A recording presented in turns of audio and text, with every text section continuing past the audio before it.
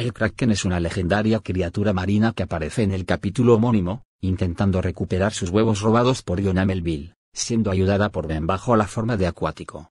En Ben 10, Omniverse un Kraken completamente diferente ataca al equipo. Este Kraken es un secuaz del Capitán Crow pero mantiene similitudes con el diseño de la serie original.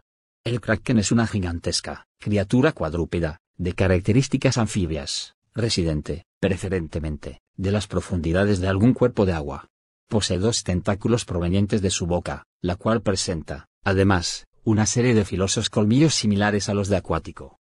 En Omniverse el Kraken es masculino por lo que es diferente, ahora es gris claro con ojos amarillos, este tiene sus tentáculos cerca del cuello. En la cabeza, tiene las patas más cortas, un cola larga y gruesa y una mandíbula más chica.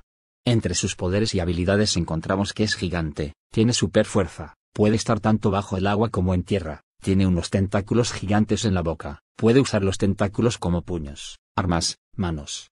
Puede disparar unos rayos azules, esto fue solo confirmado por el juego el Kraken, ataca, puede saltar a grandes alturas, puede comerse a la especie de Crash Chopper.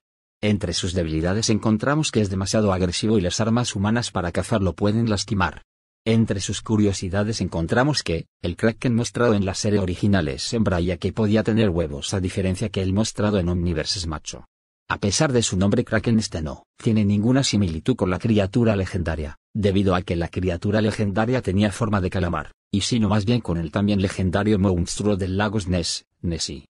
Algunos creen podría estar en el Nemetrix siendo el depredador de acuático sin embargo se vio que podían trabajar juntos en la serie original, pero en Omniverse, se vio agresivo pero podría ser que solo estaba entrenado para atacar por el Capitán Kurt lo que implica que podrían ser domesticados o entrenados hasta cierto punto. Se cree que él es del mismo planeta que Acuático, Pixis. En un comercial de Cartoon Network se ve que Ben entra a una piscina y sale como el Kraken, lo que hizo creer que podría estar en el Omnitrix, siguiendo la idea anterior. También puede ser otro alien que escaneó el Ultimatrix o el Omnitrix y lo tenga Ben, aunque se cree que pueden no ser lo suficientemente pensantes para estar en el Omnitrix.